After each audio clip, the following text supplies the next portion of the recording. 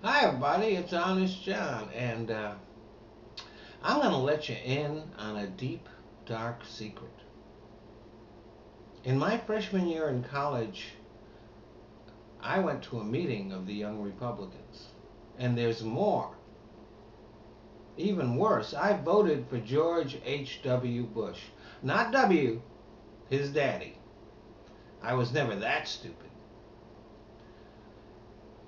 But when I was coming up, the Republicans were not the party that they are now. Dwight Eisenhower, Nelson Rockefeller, Albert Brooks, they would weep at what has happened to the to their grand old party. William F. Buckley would be ashamed of it. And there would be no place in today's Republican Party for Dick Nixon, Jerry Ford, or Ronald Reagan.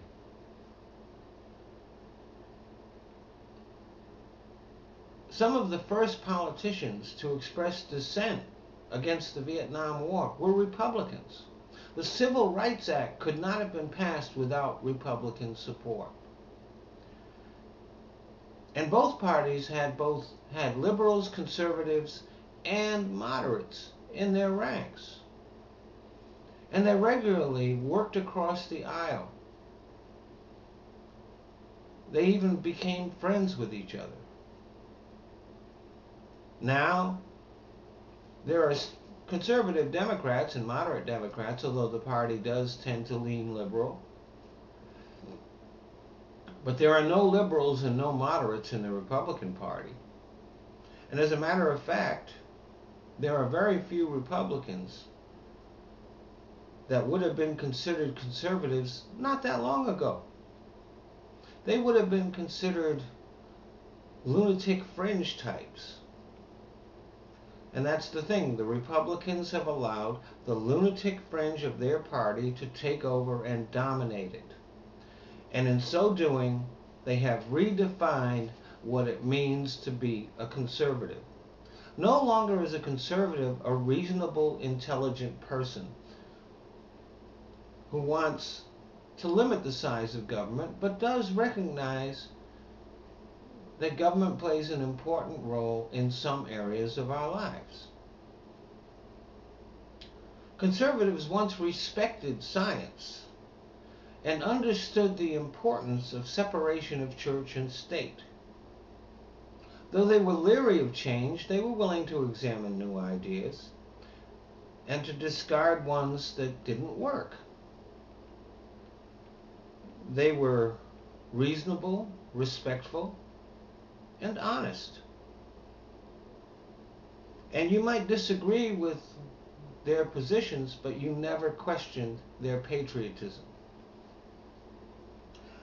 Now, when I hear the word conservative, I think of hate, hatred, racism, sexism, homophobia, and religious fanaticism. I think of greed and lies. To be a conservative is to be inflexible, to cling to ideas that have been proven false, whether it's economic policies that have been completely discredited or creationism. I think of dishonesty. Conservatives lie consistently and brazenly and then lie about their lies when they're caught at it. I think of hypocrisy. I think of gay bashing queers holier than thou cheaters, and religious zealots in brothels. I think of David Vitter, Newt Gingrich, Larry Craig. I think of ignorance. I think about Sarah Palin and Michele Bachmann, who can't be bothered learning the facts about anything and then blaming the media when they say something stupid. I certainly do not think of patriotism. I think of Mitch McConnell making no bones about the fact that the Republicans' number one priority was going to be to sabotage Obama, not to get the country back on its feet. I watched them walking away from their own ideas because they didn't want to do anything to help the country recover. I think of them actually sabotaging the, econo- the economy for their own political gain. Now, some years ago, conservatives made it uh, a point to discredit the word liberal.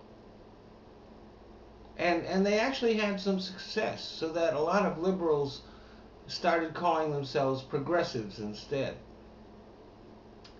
Now, the liberals never did the same. They, they never uh, made any attempt to discredit the word conservative. And they didn't need to. Conservatives have done that all by themselves. So when I see the Republican candidates talking about how America needs a true conservative to lead it, and I see them embracing the most extreme, hateful, and radical positions.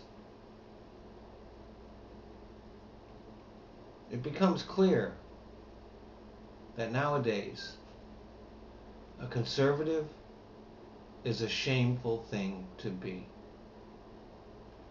Thanks for listening.